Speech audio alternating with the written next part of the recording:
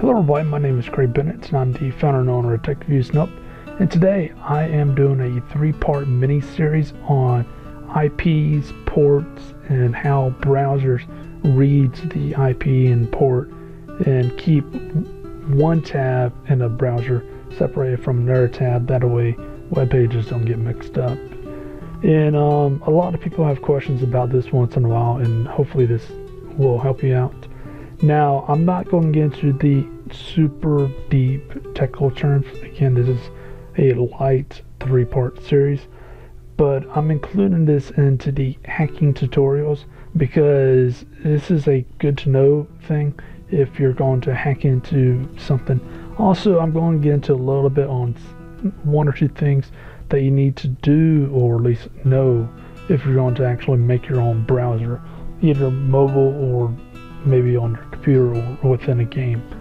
But still, you need to know these things if you want it to work. But anyways, uh, let's jump on in and talk about layers. So as far as what we're going to talk about, uh, first off is going to be called the OSI model. And basically, these are seven layers that ports could be classified under. So the top layer is application and that's layer 7. The next is presentation, session, transport, network, data, and physical. Again, the top ones being layer 7 and the bottom being layer 1. So the one thing I want you to look at right now is mm, on the very top where it says data imagine that being a request from, say, for example, if you want to go to techreviewsandhelp.com, it's a request going across. So basically, what will happen is the data will go down to the seventh layer and a header will be added on to it. Basically, a header is just additional information for that protocol at that given layer and on each one of these you're going to see a H at the end of it. So for example with the applications layer layer 7 it's going to say AH so it's applications header. So next thing we see is the data goes down one more layer to layer 6 presentation layer and you'll see the PH being added on to that and the AH is carried down like the data. And the uh, PH, basically that's just carrying on information from layer 6. So we see that happening all the way down and what's happening is each layer is adding on information that's needed for the last layer 1 or whatever layer that we're running through. So let's get into the different layers and what they do. Layer 7 is the application layer and as the name suggests it messes with the applications being a browser. Um, it could be Outlook, FTP, any of that. Basically it's um, we have protocols that interact with the specific application that the user is using. So as far as if it's a web browser, you're going to see HTTP for the protocol. If it's a FTP, then you're going to see FTP. If it's um, Outlook, you're going to probably see something like SMTP or POP3 or POP3. So going down one more layer, layer 6, it's presentation and basically this layer basically says how the data should be presented, either images or whatever may be. So layer 5 is where you're going to see a uh, file sharing, voice over IP, dial-up, things, analog modems. Uh, it's a session layer. That, that's where you're going to see that. Uh, so at layer 4, which is where we're going to spend a lot of time in the further videos, it's a transport layer. And basically this is a layer that's known as port addresses. And uh, for example, we're going to see an IP address, say 192.168.1 and given that your router is a point zero then your computer might be point one if it's the first device on it. And then you're going to see a port and say if it's a HTTP the port for that will be 80 since it's a well-known port. I'll get more into this in a the next video. And um, just don't worry about that right now. Just know that layer 4 is a uh, port where the port addresses are. I'm even going to give you a list of where all the port addresses are now for layer 4 just add something on there that's kind of important there's two main types of transport protocols and the first is TCP and the other one's UDP now for layer 3 and that that uh, two two things for the port address I'll get into that a little bit later in this video.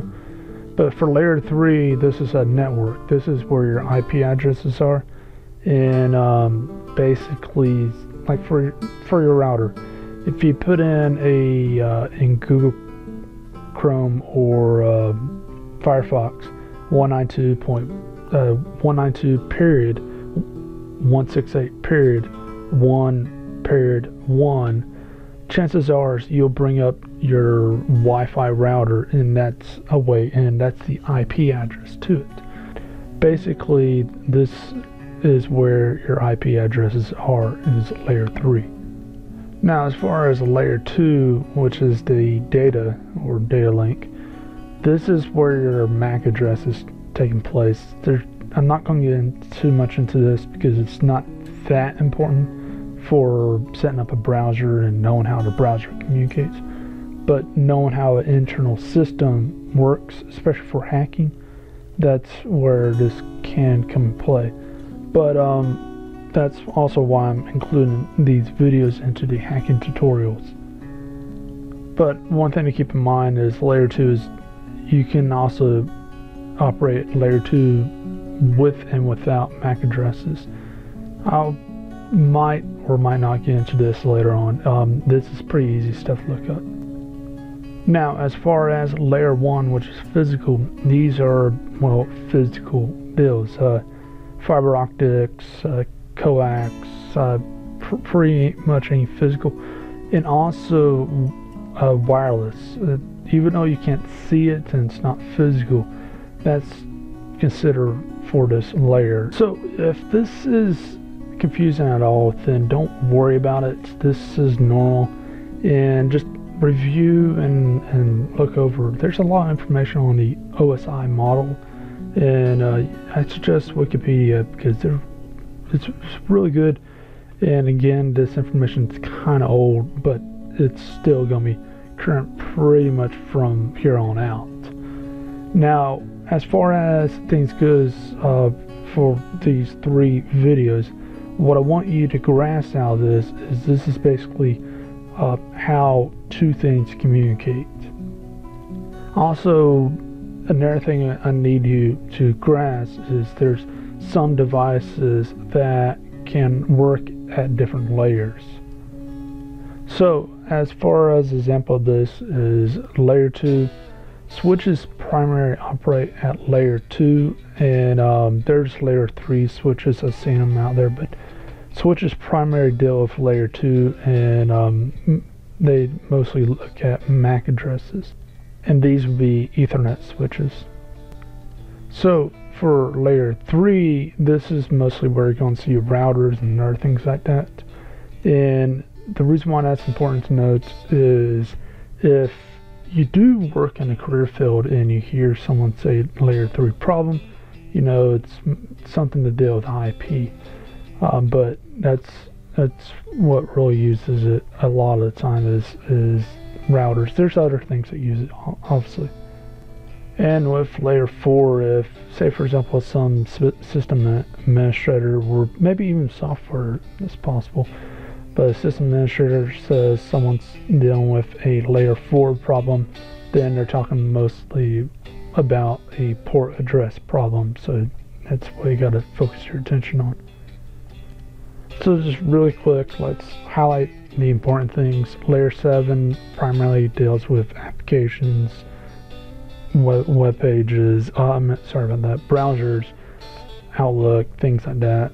Layer 4 deals with port addresses, and there's two types of things um, TCP, UDP. Layer 3 is IP, and this is mostly where routers are. Layer 2, this is where switches are. Layer 2 is the uh, primary concern about the MAC addresses, uh, switches again. Layer 1 is just concerned about getting data from one location to the next. And this is basically a lot of people reference this as a highway. The layer 1 could be anything from copper to radio signal to anything like that, uh, even light for fiber optics. Anyways, this has been Craig Bent, founder and owner of TechViews Nup, and if you found this video helpful, then please check out the other parts. Again, there's two other parts to this. And um, if you do have any questions, feel free to ask in the comment section, and I'll try to answer it as quickly as possible and um, if I can get to maybe some someone else can. But um, as far as things goes, this is a quote unquote light overview on some of these things with higher end technical terms on the stuff. Uh, if if uh, you're really confused about this, don't worry about it. A lot of people are on uh, on these type of models when they first come across it and it takes a couple days to really grasp so don't really worry about it. But um, if if you do have some problems with understanding this model let's just watching the other two parts and maybe that'll help. But anyways uh, again this has been Craig Bennett founder and owner of TechReviewsAndHelp and please like please subscribe and please share and please visit techreviewsandhelp.com and hope you have a great day